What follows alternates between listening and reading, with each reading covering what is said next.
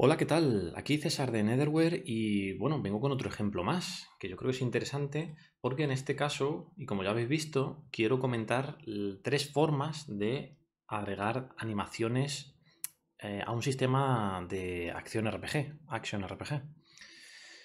Eh, a través de esta herramienta hay varios métodos. Quiero enseñaros, como estamos viendo aquí en el editor, pues tres, ¿vale?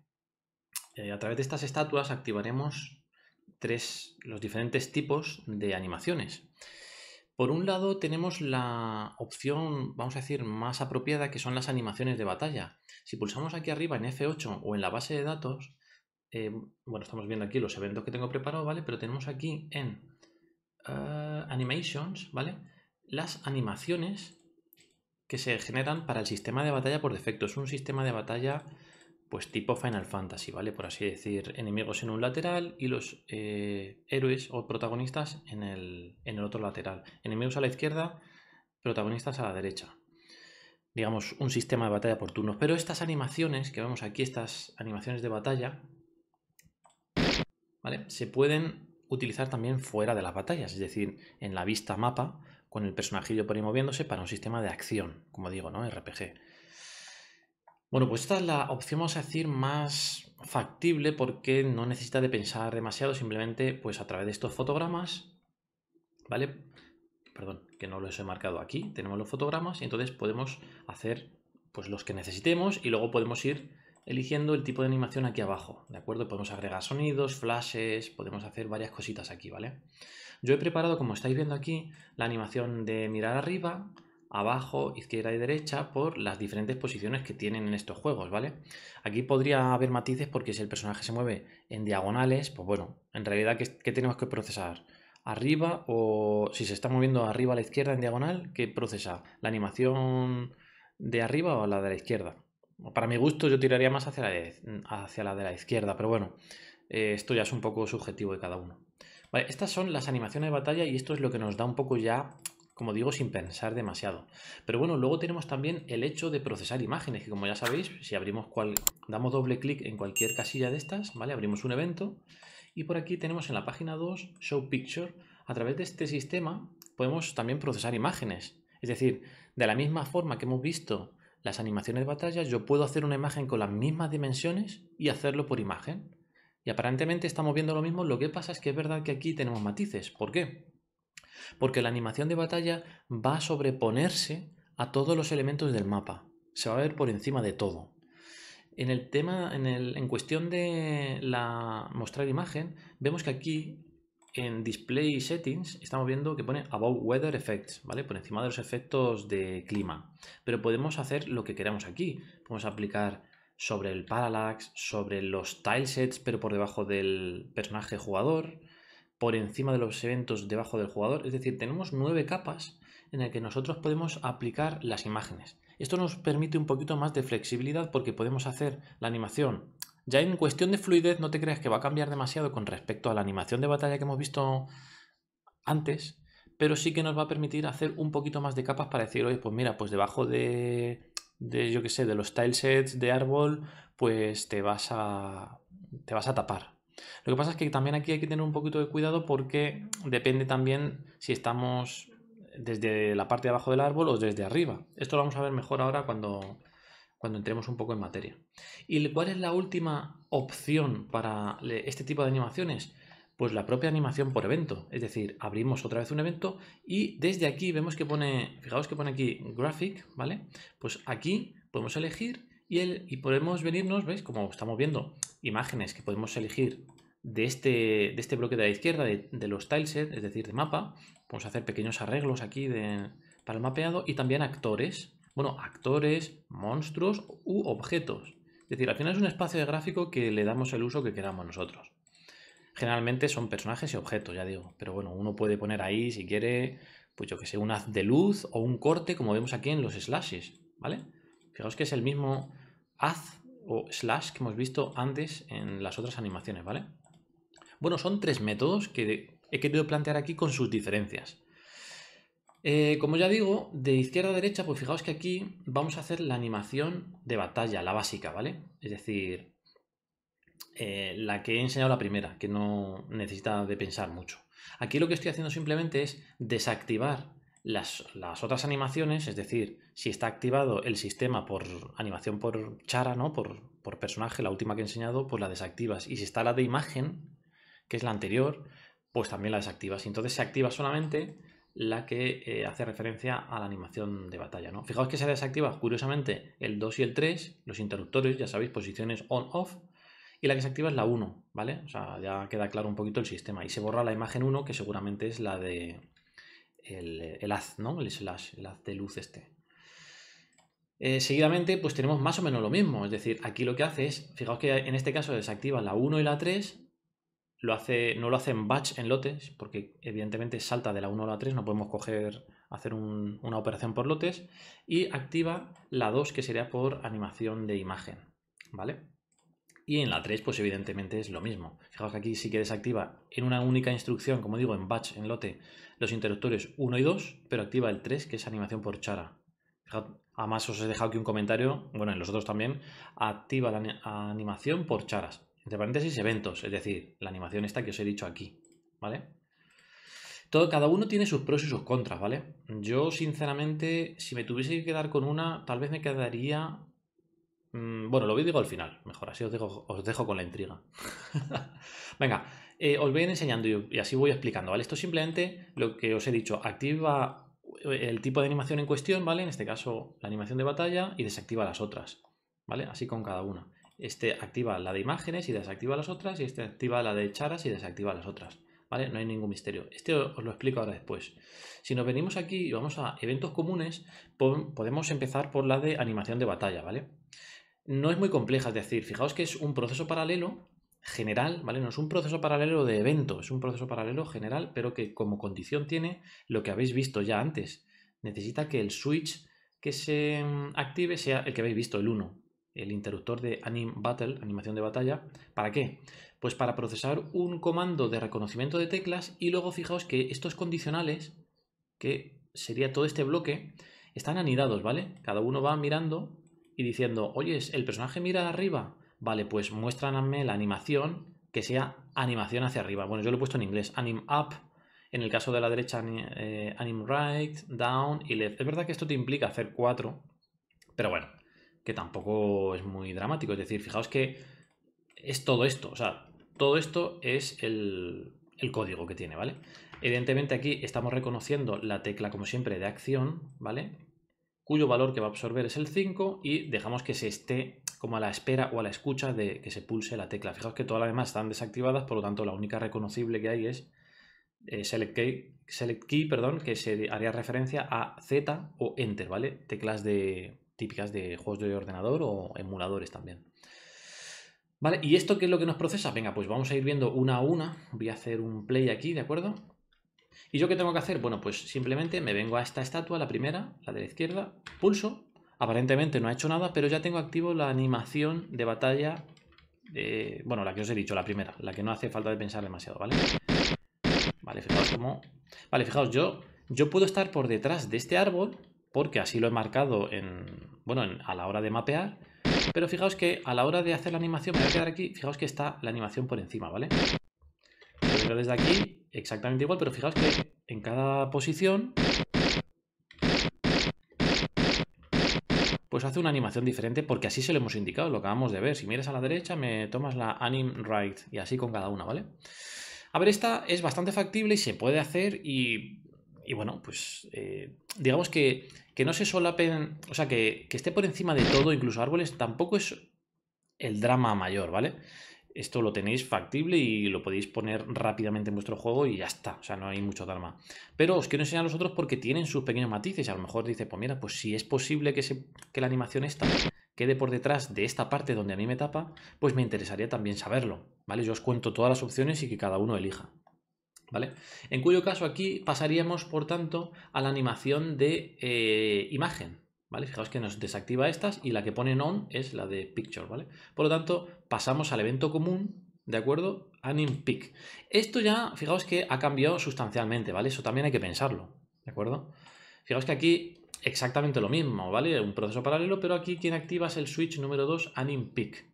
Y fijaos que, evidentemente, la parte inicial es igual, es decir, se está haciendo el reconocimiento de teclas, que cuál va a ser, pues la tecla Z Enter, como siempre, que es el valor número 5, como vemos ahí, ¿vale? O sea, hasta ahí ningún misterio. Fijaos que aquí ya necesitamos saber las coordenadas en las variables imgx y mgi, variables 2 y 3, para el personaje, y son eh, variables de la posición de pantalla del jugador, ¿vale? Para saber en todo momento dónde estamos y dónde va a hacer la animación, ¿vale? Con respecto al jugador. ¿Y qué hacemos aquí? Pues hacemos algo parecido a lo que hemos visto antes. Fijaos que son los condicionales de mirar arriba, mirar derecha, etcétera, pero fijaos que aquí estamos haciendo otras cosas. Estamos haciendo una resta a la coordenada y, a la vertical, de menos 16. ¿Por qué? Porque cuando mira hacia arriba queremos que la animación se procese un poquito por encima, como la altura de la cabeza del personaje. ¿Y qué vamos a hacer aquí? Vamos a ir cambiando las prioridades. Ojo, fijaos que tenemos la imagen número 1 llamado slash up ¿vale? Es, el slash que mira hacia arriba, si lo miramos aquí. Fijaos que yo he hecho un sprite sheet y son cada uno de estos bloques la animación, ¿de acuerdo? Así es un poquito más eficiente también. Y en el sprite sheet, fijaos que tenemos aquí, fijaos que está animado. Bueno, aquí se va a parar porque hago el zoom, ¿vale? ¿Vale? Ahí está la animación haciendo un corte, ¿no? Como pues una curva. Y fijaos que la prioridad la tenemos en por encima de los eventos, pero por debajo de player. ¿vale? Aquí podéis ajustarlo también como queráis. Yo he elegido esta, pero como siempre, esto también depende un poco de vosotros. Y luego, ¿qué hace? Pues hace un movimiento de imagen para que le dé tiempo a procesar esta animación que habéis visto aquí. ¿Vale? Esto está puesto eh, marcado como animated a esta velocidad, por lo tanto necesitamos, no nos vale componer el show picture, nos, necesitamos también un move, porque si no, no sirve, no funciona, se queda, yo creo que ni aparece, o si aparece se queda quieto. ¿Vale? Por lo tanto, necesitamos esto. Esto es ir haciendo pruebas y ajustándolo. Si no, como dice aquí else, si no, ¿qué hacemos? Pues mírame a la derecha. Y a la derecha, pues yo he optado por otra opción. Fijaos que aquí estoy diciendo igual que le haga, bueno, voy a subirlo un poquito, que haga el menos 16 de antes, pero además también me vas a poner un más 8 a la derecha. ¿Por qué? Porque estamos situando, vamos a decir virtualmente, la imagen a donde nos interesa, para que esté como un poquito por delante del personaje cuando él mire hacia la derecha, ¿vale? O sea, la imagen estará desplazada un poquito hacia la derecha. ¿Qué es lo que he hecho aquí? Fijaos que aquí la animación se está procesando de forma automática, como os he enseñado aquí en el Animated, ¿vale? Pero en este caso lo estoy haciendo manual, es decir, estoy cambiando yo manualmente la posición del sprite, ¿de acuerdo? Con una espera muy rápida. ¿Veis? Fijaos que aquí pone, fijaos que lo vais a ver aquí muy claro, veis que pone 1, 2, 3, 4 y 5. Esta es la forma manual de hacerlo. Pero esto también permite que, que, no sea, digamos, todo tan monolítico, porque aquí lo que la animación se procesa de tirón. Aquí, si hay algún problema, pues cuando giremos la animación se corta y ya está. ¿De acuerdo? Esto es un poco por lo que lo he hecho. Podemos haberlo hecho así también, ¿vale? O sea, esto yo un poco os explico cómo lo he elegido y ya está. Seguramente este sistema lo monté hace ya un tiempo, pero haciendo pruebas pues me daría cuenta de que haciéndolo así es mejor, simplemente. Mirando hacia abajo, fijaos que es exactamente igual que la de mirando arriba, ¿vale? Bueno, aquí os he enseñado, por cierto, perdonadme que he elegido la imagen slash izquierda-derecha, ¿vale? Fijaos que la animación es exactamente la misma, ¿vale? Fijaos que el sprite sheet es exactamente el mismo, solo que está dividido pues de una forma que podamos ir tomando pues los diferentes eh, eh, sprites, ¿no? Sirve tanto para izquierda como para derecha porque vienen ya todos ahí. Vale, yo creo que ya he, recordado por qué lo hice así, porque daos cuenta que si yo animase esto de tirón, empezaría tomando cada uno de estos eh, fotogramas y lo haría de tirón, luego pasaría aquí, aquí, aquí, es decir, se vería un corte así y luego otro corte así, ¿de acuerdo? Es porque como hice esta imagen, pues lo tengo todo en un único bloque, que es mucho mejor, evidentemente. Pero claro, no lo puedo animar tan de tirón, tan como me gustaría. ¿Vale? Entonces tiene, tiene ese pro y ese contra. Eh, ¿Soluciona esto? Pues simplemente exportar dos. Es decir, este de arriba sería uno y el de abajo sería otro. Entonces lo podríamos hacer animado como, como el primero. ¿Vale? Pero bueno, esto ya es elección. Yo lo he hecho así porque me parecía tenerlo más compacto, más interesante y luego animarlo así. De esta forma, ¿vale? O sea, elegidlo como queráis. La de abajo es exactamente igual, ¿vale? O sea, está animado. Fijaos que he elegido el slash down, ¿vale? Es otro sprite sheet, seguramente es parecido al de arriba, volteado o alguna cosa así. ¿Vale? Y a la izquierda es exactamente igual, pero fijaos que van cambiando un poquito las cosas. Este dice menos 16 porque queremos que esté un poquito por encima, este está un poquito por encima y a la derecha este está solamente eh, a... O sea, le hemos bajado un poquito, no le hemos bajado 16, le hemos bajado un poquito porque no queremos que esté a la altura de la cabeza, sino que esté más como a la altura de los pies o una cosa así. Y a la izquierda es la operación contraria. Si este es más 8 menos 16, pues es menos 8 menos 16. ¿Vale? Para que esté situado hacia la izquierda cuando viene hacia allá. Por lo tanto, esto ya... Bueno, y fijaos que aquí lo que se hace es se borra la imagen para que se resete todo bien y se hace un jump to level 1 porque queremos que esté preparado otra vez para la tecla, ¿vale? O sea, aquí es como que se fuerza, aunque es un proceso paralelo y se está leyendo constantemente, se fuerza un poquito porque a veces interesa hacer esa operación, ¿vale? Os lo voy a enseñar, ¿vale? Os voy enseñando cada uno y luego hacemos los comentarios, ¿vale? Fijaos, activo, no, parece que no ha pasado nada, pero sí. Fijaos que esta animación es como un poquito más de, ¿cómo os digo? Como más directa, como más, parece como un poquito más fluida también, que si cambiamos a esta, es Parece un pelín más ortopédica. Bueno, esto no es porque sea la animación de batalla, o sea, por el propio sistema que trae el programa, sino porque estoy jugando siempre con la misma animación, entonces varía un poquito con, respecto a, cómo lo he montado.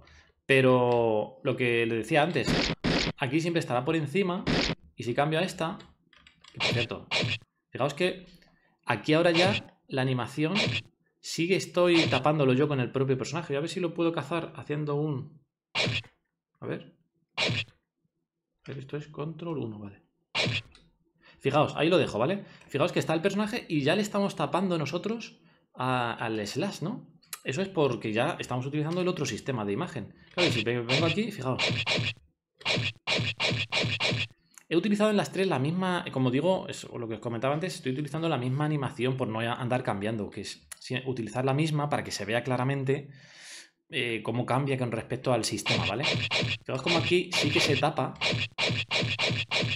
¿vale? Pero tened cuidado porque al tener este tamaño, al tener este tamaño el, la animación, pensad que si queréis que, que quede como porque pensemos que estos son casillas de 16, ¿vale? O sea, esto será una casilla más o menos tal que así, un poco a ojímetro. Entonces, a lo mejor tenéis que hacer que la animación no sea más grande que esto. ¿Vale? Tienes que hacer que, la cuchillada sea de estas dimensiones. ¿Para qué? Para que no pase lo que va a pasar ahora mismo. Que como yo he hecho un slash más grande, pues ahora... Fijaos. Fijaos que evidentemente le tapona la parte donde está marcado con la prioridad de tapar, pero por aquí, como no está esa prioridad, pues lo que ocurre es que sale por ahí. Solución, haced el corte de esta dimensión, de 16 por 16, en un cuadro de 16 por 16. Moveros ahí. Y entonces el slash siempre quedará aquí dentro. ¿Vale? Esa es la solución en realidad. Si lo queréis hacer con imágenes, ojo, si lo queréis hacer así os da igual, porque aquí siempre... También fijaos que cuando yo utilizo la animación de batalla normal, yo me muevo y me sigue. Es como que siempre está actualizándose, pero si yo utilizo esta, Fijaos que yo incluso lo piso, ¿vale?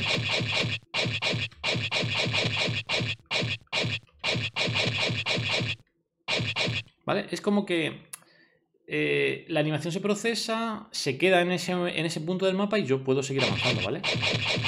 A cada uno le puede gustar más una cosa u otra, ¿vale?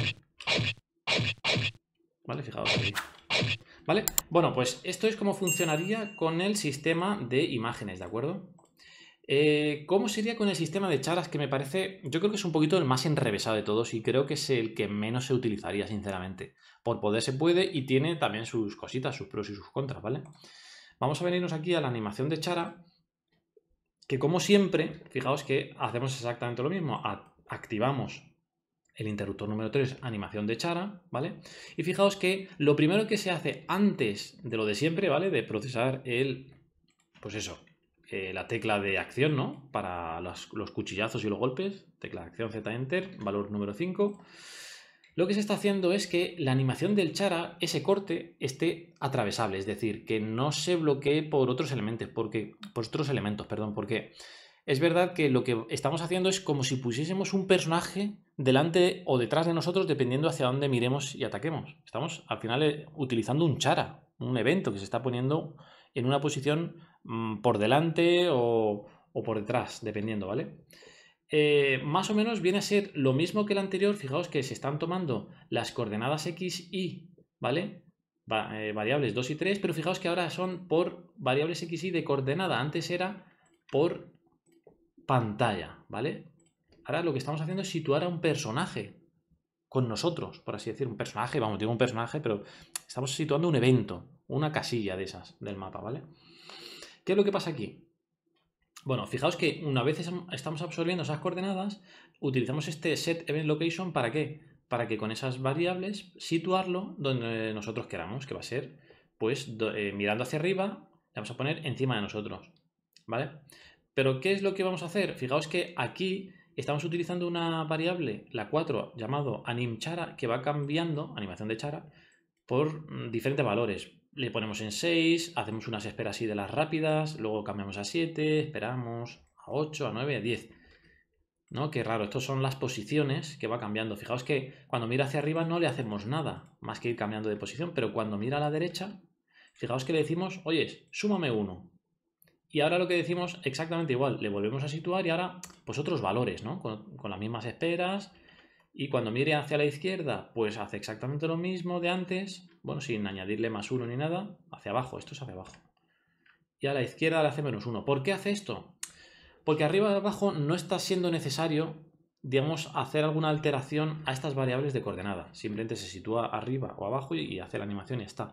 Pero a izquierda y derecha se suma uno, porque en la cruz virtual del juego, me acuerdo que esto lo he comentado ya alguna vez, perdón, voy a hacer así un zoom. Si hacemos aquí una especie de cruz virtual de coordenadas, el punto central será donde esté el personaje.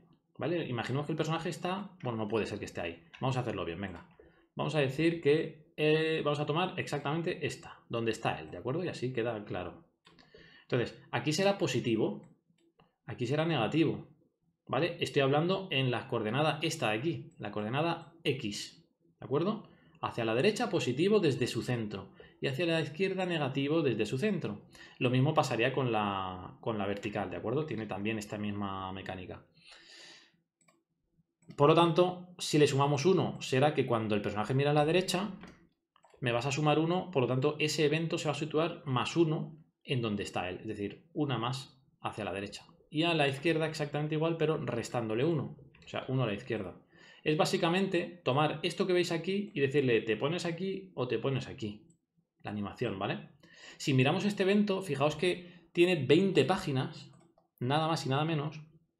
Y fijaos que está requiriendo que cada página, si no me equivoco, efectivamente, cada página requiere de tener, perdón, el interruptor 3, animación de chara en on y la animación de chara en este caso en 1. Y fijaos que yo lo único que he hecho es un proceso paralelo ¿De acuerdo? Que no hace falta, por cierto, esto se puede quedar así. ¿Vale? Este se me, había quedado ahí, pero todos están en Action Button, ¿vale? Porque fijaos que no necesita procesar nada en proceso paralelo, simplemente hay un comentario para que yo sepa que dice, oye, pues mira, está mirando abajo. En la 2 sigue mirando abajo, sigue mirando abajo. Fijaos aquí cómo va cambiando la animación. Mira abajo, mira abajo y ahora mira arriba, ¿vale? Es decir, las cinco primeras son mirando abajo. Luego otras cuantas será mirando arriba. Luego será a la derecha. Luego será la izquierda. ¿Vale? Eso es. Ese es el tema. ¿Vale? Fijaos también que cuando mira, por ejemplo, abajo, ¿vale? Está en prioridad sobre los personajes. ¿Por qué? Porque el personaje mío estará detrás de este corte. Por lo tanto, quiero que le tape. Quiero que le tape, ¿vale? Fijaos que yo estoy lo que digo, utilizando gráfico de chara, es decir, gráfico de chara es esto. Fijaos cómo, perdón, cómo se animan, ¿vale? Aquí lo que pasa es que se está utilizando animaciones de movimiento de personajes, de andar y todo esto, o lo que queráis. Aquí, ah, igual que hay andar, hay agacharse, saltar, lo que quisieseis, ¿vale? Pero yo estoy utilizando ese espacio, como decía, para lo que me interesa, que es un corte, hacer un, una animación de corte ahí. Y fijaos que va cambiando, va cambiando y va cambiando.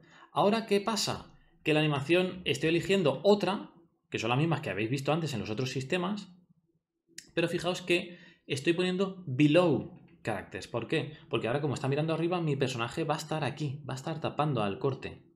¿Vale? Esto es bueno y malo porque se está aplicando sobre mi personaje y sobre lo demás. sobre el entorno también. Por lo tanto, eso es un poquito el pro y contra que os decía, ¿de acuerdo?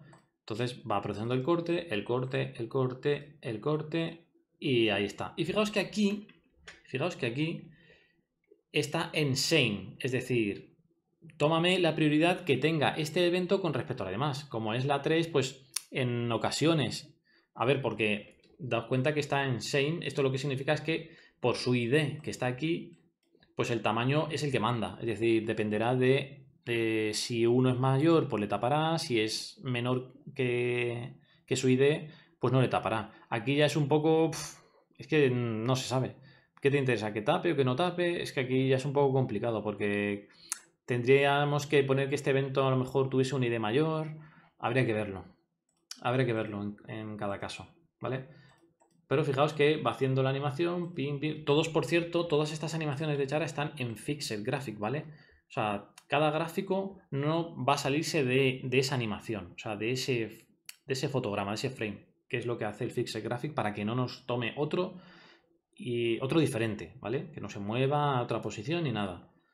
¿Vale? Y a la izquierda es exactamente igual que a la derecha, fijaos que está igual en same y fijaos que cada valor pues ha ido tomando desde el 1 ¿vale? Pues coge 5 para abajo, luego 6, 7, 8, 9 y 10 para arriba, 11, 12, 13, 14, 15 y 15 para la derecha y 16, 17, 18, 19 y 20 para la izquierda, ¿vale? Este es el sistema, este es el sistema, ¿vale? Se parecen mucho, es decir, el de imágenes el de imágenes y el de Chara se parecen bastante, cambian un poco lo de Player Screen con Player eh, Coordinate y luego cambia, pues que situamos lo que es el evento, ¿no? Aquí lo único que se hace es poner lo que es la imagen. En el otro hay que posicionar como tal este evento, como decía antes, ¿vale? Hay que irle posicionando en arriba, abajo, y, eh, derecha, izquierda, ¿vale? Vamos a ver cómo funciona, que es un poco el, el asunto, ¿vale? Así que nada, me vengo a la tercera, ya está activo. Y fijaos que efectivamente a cada uno creo que le he dado un sonido de slash diferente. A ver, voy a activar el otro. Efectivamente. Vale, para también identificarlos por sonido, ¿no? Aparte de, sistema y tal.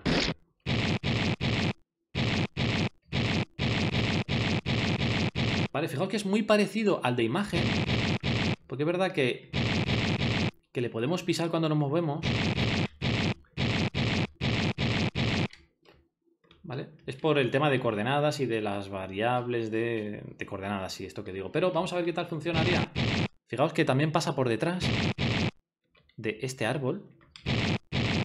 Pero fijaos que hacia abajo no. ¿Por qué? Porque le hemos dicho que hacia abajo nos tape, pero que nos tape a nosotros y a lo demás. Y hacia arriba, pues exactamente igual.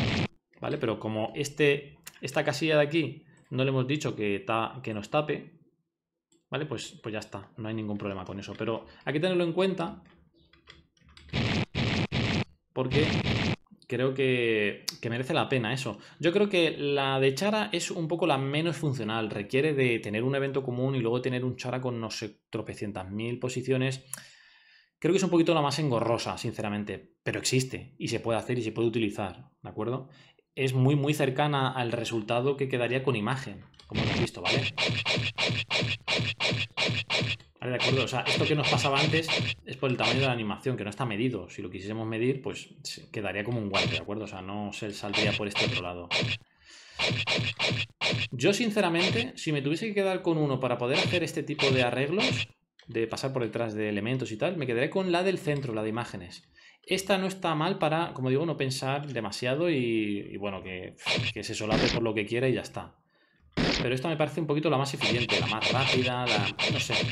Queda como la más fluida y la... Aunque el sistema queda un poquito más complejo que con la primera, pero es la más funcional en ese sentido. Y la última creo que es la menos utilizable, la menos interesante en ese sentido, porque trabajas más para hacer más o menos lo mismo que la del centro, ¿sabes? Y, y luego la diferencia tampoco se va a notar mucho al tema de prioridades.